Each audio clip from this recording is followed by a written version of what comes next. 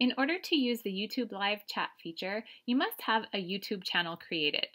To create a channel, navigate to youtube.com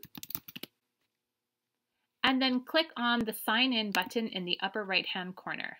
Log in with your Google account. If you don't have a Google account, simply click on this Create Account button and follow the steps. Once you've logged in, click on My Channel in the left sidebar. You'll get this pop-up window, read through the terms and conditions, and then click Create Channel. So once you get the link to the YouTube Live event, make sure you're logged in and you'll be able to participate in the chat.